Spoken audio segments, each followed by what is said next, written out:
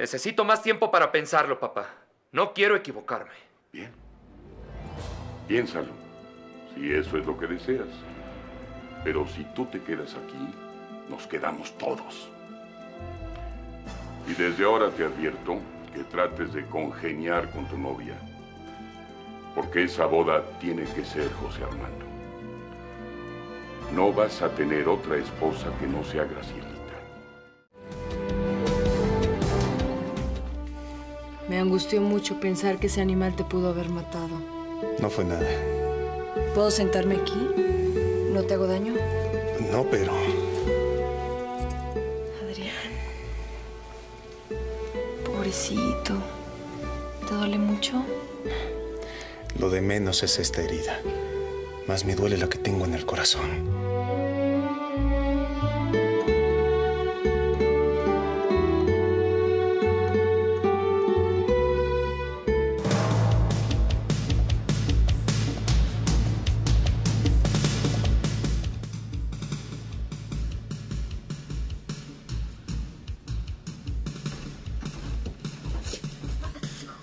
José Armando! ¿Qué tal, Florecita?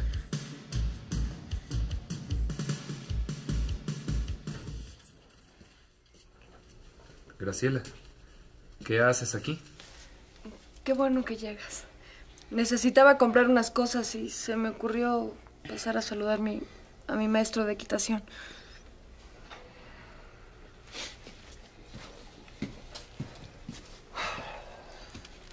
¿Cómo te sientes, Adrián? Ya, ya estoy bien. Les agradezco a, a los dos que hayan venido. No tienes que agradecer. Vengo a ver eh, cómo estás atendido. ¿Te vas a la casa? Mejor te espero y nos regresamos juntos. A ver, cuéntame, ¿cómo te pasó esto? Gajes del oficio, doctor. ¿Te desinfectaron perfectamente? Yo, yo creo que sí. Vamos a ver.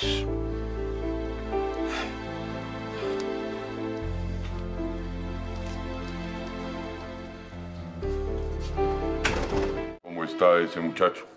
Afortunadamente bien. Le dieron una excelente atención. En unos días sanará. Bien. Ahora que no hay nada pendiente y podemos hablar con tranquilidad, vamos a tener esa conversación que habíamos aplazado.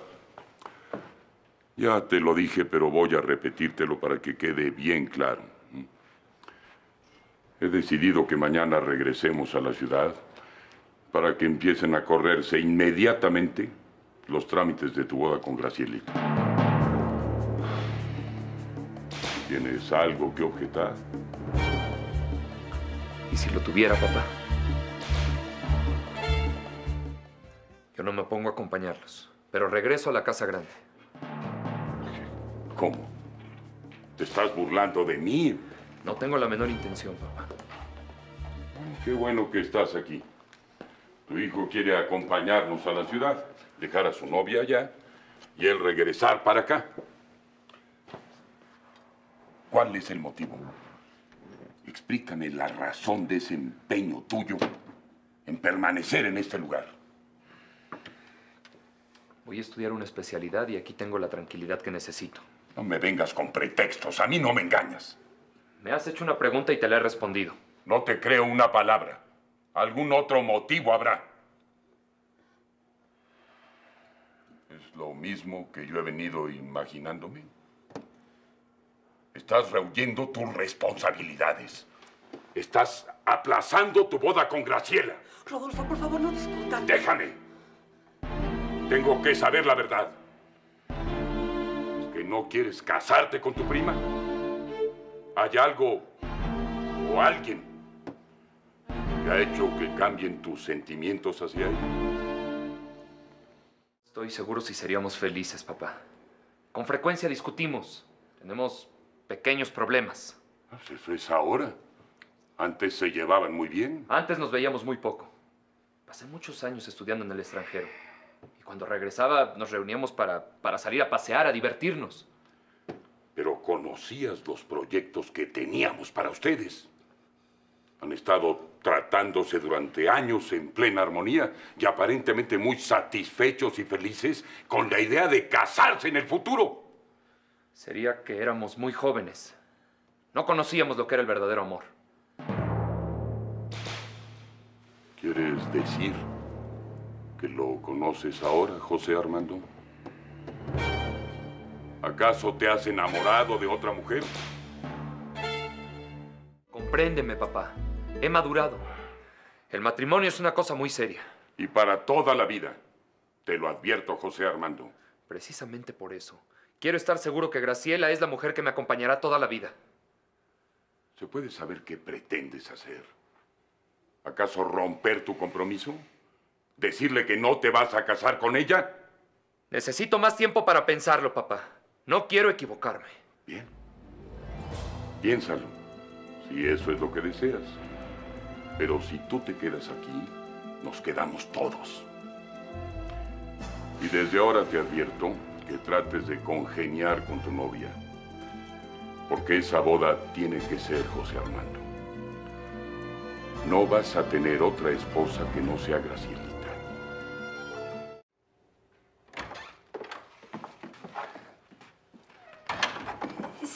¿Sabes ya a qué hora salimos mañana, Blanca? Ay, Fátima, qué pena me da todo esto, pero ya no nos vamos. ¿Pero cómo que no nos vamos? Si Rodolfo dijo que... Sí, es verdad, pero es que a última hora cambiaron los planes. ¿Y se puede saber por qué? Es que... Es que, que José Armando prefirió quedarse. Y Rodolfo dice que si él se queda, pues nos quedamos todos. Pues yo no permanezco ni un día más aquí. ¿Pero, pero por qué quiere quedarse José Armando? ¿Qué es eso tan importante que lo retiene aquí? Mira, Fátima, él quiere prepararse para hacer una especialidad y, y piensa que este lugar es, es muy tranquilo. Pero que eso no puede hacerlo allá. No, no, es que... Es que aquí se, se concentra mejor. Está bien. Ustedes son muy dueños de quedarse. Pero yo me voy. Gracielita y yo nos vamos. Recordarás también que decidimos que la boda fuera en un par de meses. Y tenemos dos preparativos encima. Espero que en eso no tenga que haber aplazamientos.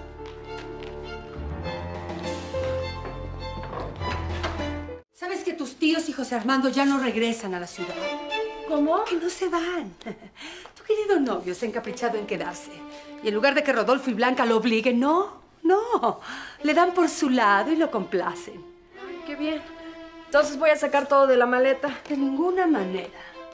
Tú y yo sí nos vamos. Ya se lo dije a Blanca y a la hora de la cena se lo voy a confirmar delante de Rodolfo y José Armando. No, mamá. Yo también me quiero quedar. ¿Y eso? ¿De cuándo acá te gusta el campo? No es eso, mamá. Misma me has dicho que donde esté José Armando debo estar yo. ¿No me lo has dicho tantas veces? Por eso nos debemos quedar. Cualquiera diría que la noticia te causa mucha alegría. ¿Sabes una cosa, Gracielita? Te siento muy extraña en estos últimos días. Algo te sucede.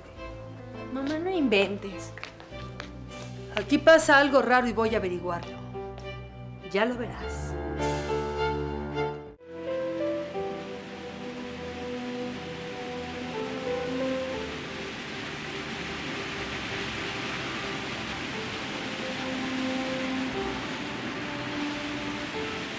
Tomar una decisión.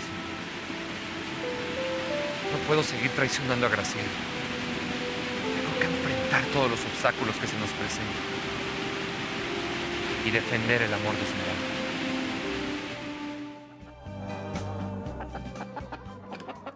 A lo mejor se fueron ya, porque quedó de venir en la mañanita y hasta ahora no se ha aparecido. A lo mejor no se van. Mira, pues. Y la Dominga creyendo que estaban muy apurados. ¿Por qué, Dominga? Ah, hija, nada. Cosas de vieja. Yo me entiendo.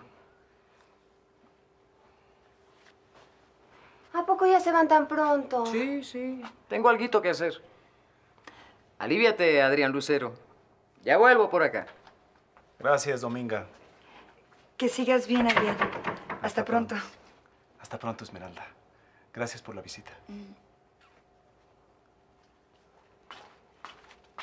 Ayuda a la florecita. Ay, sí, ven, ven, ven por aquí.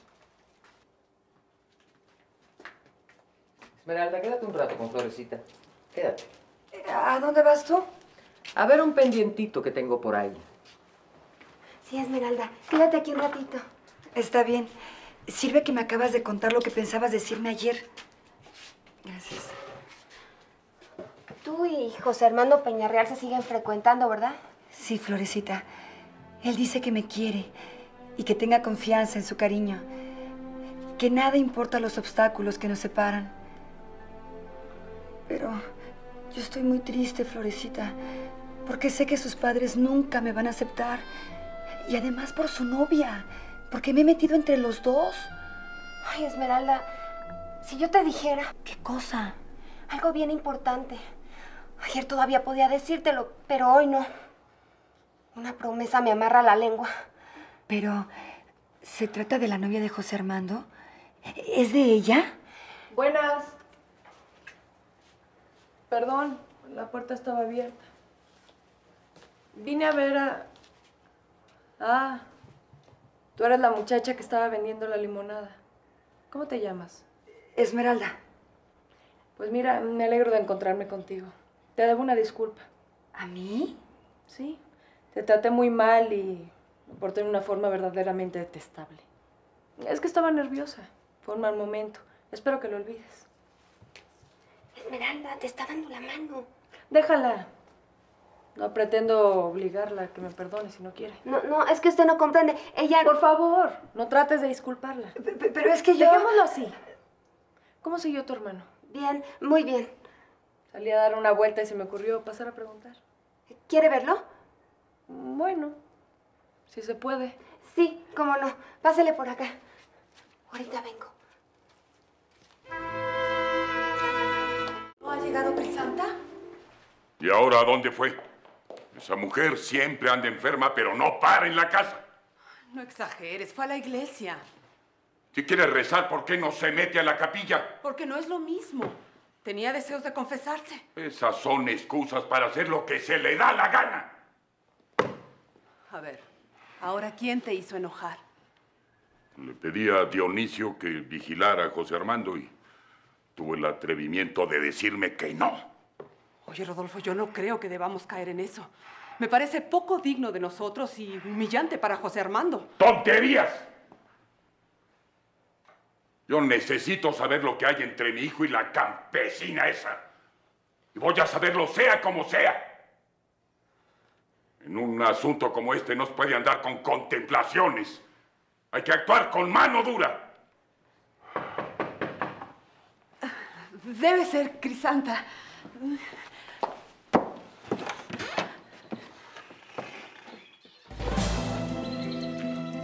No se espante, no soy una visión. Es la vieja Dominga que viene a hacer una visita antes de que se vayan de la casa grande.